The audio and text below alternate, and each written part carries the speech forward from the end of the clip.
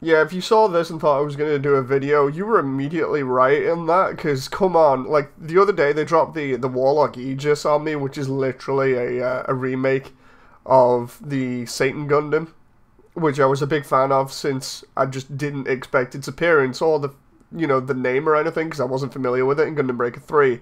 And then the, the day after that, they go ahead and drop what you may immediately think of, uh, just straight out the gate as looking like the high res God Gundam, but no, they go ahead and drop it. The freaking real grade God Gundam. Oh my god, yes, I need this. Seriously, if if you've ever had that feeling that a company really wants your money, you know, they're just deliberately out to get you when you think, oh yeah, I'll, I'll stop collecting now. Yeah, I'm getting that feeling right now.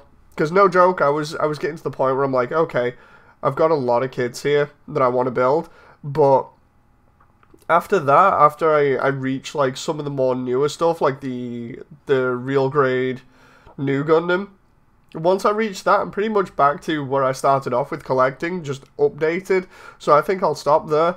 And then, yeah, sure enough, they go and drop this on me. Oh my god. Just when I want to stop collecting, this comes out. So yeah, this is basically, from what it looks like and what people are saying on Japanese Twitter, this is a miniaturized uh, high-res God Gundam. It is so nice to have a look at all the mechanics and everything in it and the color separation. This is just a lot of details about the actual kit itself and its articulation, which is absolutely amazing when you look at all this promotional art all the uh, the different color separation. But we'll get into this now on the turnaround because again they actually do uh, this whole thing with this website, which I absolutely love. Uh, not just showing off a load of promotional material, saying like, look, it can recreate these poses, which are I, I absolutely love the the pose stood on top of the corner post for the ring. I've been wanting to try and recreate that for ages, and now they give me a, a kit that can do it. But yeah, apart from just showing you all these promotional things, they then turn around and go, yeah, so anyway, here's a, uh, a 3D recreation, so you can have a look at it yourself. And I absolutely love this, because now we can get into the, the nitty-gritty details, and we can actually see what's different about this, and, uh, and go over it. So, we've got, immediately, like with the other uh, real grades, we've got a lot of color separation. Uh, it looks like there may only be uh, one blue and red throughout, but we're definitely getting uh, white, light grey, uh, sort of this black colour. I think we're getting uh, another, like, either light grey or gunmetal for certain other parts. But this articulation, it's got like an arch there so you can recreate that, that standing intimidating pose that it does. Let's move up here a little bit and zoom out. So we've also got the whole thing with a backpack, which I actually really love because the Corelander itself, the way that it was designed, its wings couldn't go backwards. It was just stuck out in a, uh, a sideways position. And yeah, now they've actually made it so the Corelander can have its wings move on these uh, different joints, allowing you to get more dynamic poses and move the uh, the wings out of the way absolutely love this idea. It was one of the uh, the faults, like I was saying with the original, was the simple fact of you couldn't move those. Um, yeah, color separation at the back of the head here. I'm assuming this is all going to be done by plastic. Um, I'm expecting stickers here to literally just be like the head cameras, if that. Um, might get some really nice decals to slap on here, but uh, I'm loving the way that this is color separated. Like even here, we got white going into this light gray. You see that quite a lot all over the, the rest of the body, because a lot of the God Gundam, uh, despite it being peppered in like blue and red here and there, you get a lot of this uh, this white frame that needs to be broken up. So clearly they've gone ahead and done that. The same with the uh, the beam saber uh, handles here or rather the the bits that keep the beam sabers onto the uh, the side skirts. They've made those grey instead of making them white like the old high grade. It'll be really fun to do a comparison between the high grade and this, and then maybe the uh, the uh, high res one because I've got all of them. I just need to. Well, I will have all of them. I just need to build the uh, the high res and then the real grade to compare.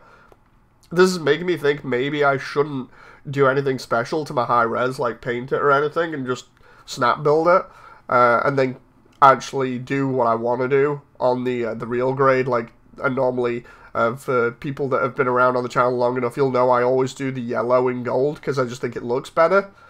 Um, I'm thinking of that right now because it'll probably be real nice and won't take away from the, the kind of like glossy finish that the uh, the high res has. Then we've got uh, the holding pose for the, the kick here. And by that, what I mean is it's holding this pretty nicely and it's not falling over. Although, I'm not sure whether that's because of how weight is distributed or just because of promotional material. Because you can see it's definitely pivoted this way towards the, the left of the screen. So, uh, yeah, you'd imagine it's going to tip over. But if they can show it actually holding this exact position and staying still, that's got some pretty good weight distribution to it. Really loving this right now. Absolutely fantastic to see all these details and all these like different panel uh, separation that we we've got going on here. I'm just my mind is blown by this right now. I'm not so sure about panel lines. Uh, we got some in the legs that don't look like they're very deep channels. We got a couple maybe at the back there. Maybe a couple going along the uh, the wings here. I wish we'd get like a shot of it just completely done up by a professional. That'd be really good to see what the uh, the difference is. They explain at the bottom here that it's all CG. But yeah, oh, this is this is too good to be true. And then if we we go back up here, we get to see in the promotional material they show off things like the wings having the the different articulation. They show off a good shot of the back so you can see those joints that will move uh, and give you a much wider range of motion than before. We get these effect parts uh, for the uh, the ring of energy that goes around the, the God Gundam's back. That is fantastic. That looks like it pegs into uh, maybe the, the thrusters or pegs into the uh, the top here. Not too sure about that. Not too sure about that at all. They've definitely taken inspiration from the high res though because of the way that they've done all the uh, the detailing or the designing of the certain parts and then the articulation on them. Like for instance, the uh, the gauntlet here, they've split that up more, more or less exactly the same. It's like having the articulated fingers, what looks like an articulated thumb to get out of the way. Uh, we've got the articulated claws. Uh, the what looks like dual god hand, but in uh, orange for the effects. So it looks like we're going to have a lot of swappable parts and effects and things. Again, just showing the articulation here, that that rocker on the ankles, that is absolutely ridiculous. then we've got the fact that it can kick straight up for a high kick. Shows it in the art in the background as well versus the Master Gundam. They've got the, the new range of articulation with the shoulder joint here, which uh, which will allow it to do some really damn good poses. We're just going back up now and going over stuff we've already gone over before. I love the way they're, they're making it so uh, with the leg here it can actually uh, crouch properly and not sort of get in the way by the looks of it anyway when you look at the, the highlighted section of articulation. It's like, yeah, we're going to make it so that um, actually looking at this image, like in the center, the uh, the main large image here to the left of the screen, like center left, and then the smaller one that's next to me here, it makes it look as though parts of the uh, parts of the kit compress into each other to make it streamlined. Oh, that's going to be really cool if I if I can see stuff like that happening. Goes, does this really good kneeling pose. It's obviously confirmed here that we're going to be getting uh, beam saber parts by the uh, or beam saber effect parts by the look of the uh, the promotional image very much similar to the uh, original high grade. Just with a load of uh, added things to make this really good. I love this this really stylized, updated take on stuff. It's it's day one purchase for me. It's got to be. Like I know I said I was getting out of the game and that I wasn't gonna get well many more of these things, but goddamn, this makes me so excited just to see uh, how well it goes together and what it's like after building, primarily because I've I've had most of the early real grades and they've been pretty cool. You know, people talk smack about early real grades, but I actually still like stuff like my original uh, RX-78 real grade and the uh, the Freedom those were really good. Those got me into real grades and, and got me really hyped about the future of them and the fact that they were more just like mini master grades. But yeah, this this has got me real hyped. Um, like I said, I've just recently got the Nu.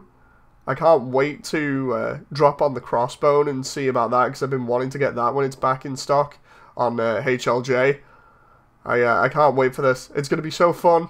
What do you guys think? Leave your comments down below. I, I really want to gush about this some more, but it's going to be just me talking about the same talking points over and over and over again. I'm just so fascinated by this right now. Anyway, I'll see you in the comments section, and I'll see you on the next video. Until then, bye!